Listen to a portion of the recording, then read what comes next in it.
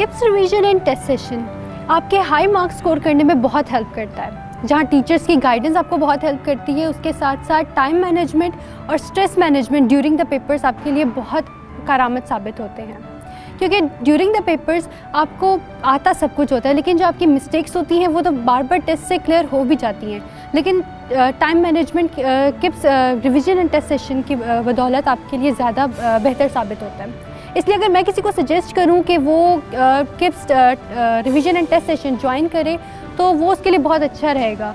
क्योंकि इसमें आपके कॉन्सेप्ट भी क्लियर होते हैं, आपके टाइम मैनेजमेंट भी अच्छा होता है और आपकी प्रेजेंटेशन स्किल्स भी बहुत इम्प्रूव होते हैं। KIPS evening coaching journey to brilliance begins here.